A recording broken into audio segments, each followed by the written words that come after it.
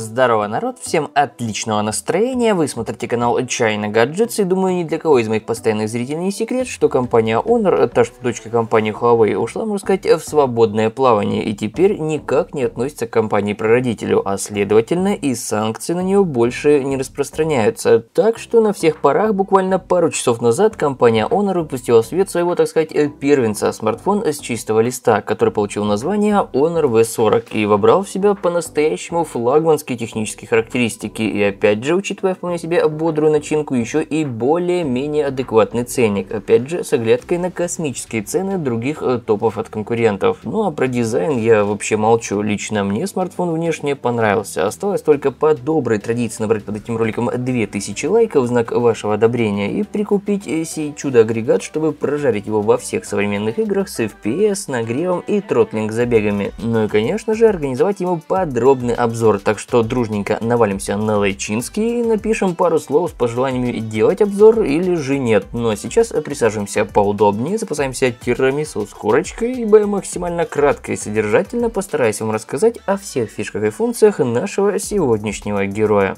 Но если вас, как и меня, заинтересовал данный аппарат, но вы не хотите приобретать его за рубежом, правда сэкономить все-таки хочется, для поиска лучшей цены могу порекомендовать e-каталог. Думаю, как только смартфон будет продаваться у нас в рознице, он обязательно появится и на e-каталог. Ну а пока что тут можно подобрать самый вкусный прайс на его ближайших конкурентов и одноклассников. Так что если вы предпочитаете экономить не только деньги, но и время, e-каталог это то, что доктор прописал. Также тут можно с легкостью мониторить динамику изменения цен, чтобы не нарваться на липовые скидки нерадивых продавцов и попутно отсортировать нужный вариант устройства по цвету, характеристикам и многим другим параметрам. Тут же можно закинуть нужный товар в корзину, чтобы не забыть купить его, например, на распродаже или в любой момент прочитать отзывы реальных потенциальных покупателей, что действительно может быть крайне полезно. Ссылочки с лучшими ценами на смартфоны из ролика, а также на другие интересные девайсы как всегда найдете в описании под этим видео. Новенький сильно независимый Honor V40 получил топовый, хоть и не самый свежий 8-ядерный 64-битный чип от компании MediaTek, а именно Dimensity 1000+, с максимальной частотой работы ядер до 2,6 ГГц. За графику отвечает производительный Mali G77MC9, объем же оперативной памяти будет фиксированным и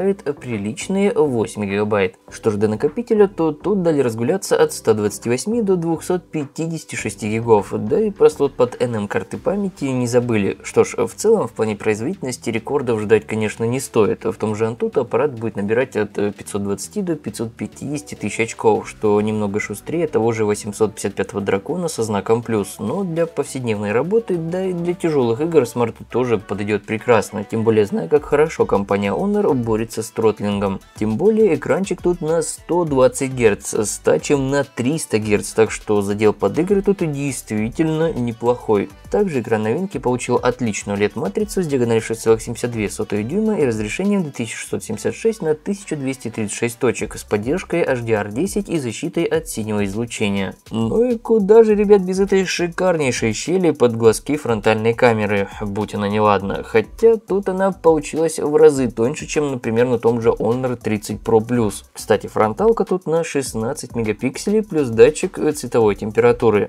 Что же до основной камеры, то ее оснастили модулем на 50 мегапикселей. Кстати, используется UberTop Sony IMX766, ширик на 8 мегапикселей и не пришей кобыли хвост, макрик на 2 мегапикселя. Что ж, на главное обещают отличное качество снимков, сравнимое с лучшими топами от других производителей, если даже не лучше. Honor всегда могли в камеры, так что на деле, если мы не получим супер топ, то хорошую камеру уж однозначно. Питается это дело довольно скромное по современным меркам баночка на 4000 мАч с поддержкой реально очень быстрой 66-ваттной зарядки, которая заряжает нашего героя примерно за полчаса, может с небольшим хвостом, и это круто. Также смарт оснастили и 50-ваттной беспроводной зарядкой. К дополнительным особенностям новинки можно отнести фирменную Magic UI 4.0 на 10 Android с скорым обновлением до 11, поддержку 5G сетей, сканер отпечатков пальцев в экране, стереодинамики и поддержку HRS Audio, NFC и, что немаловажно для многих, поддержку Google сервисов. Например, к нам аппарат в розницу поступит примерно через месяц, и на борту у него точно будут гуглы.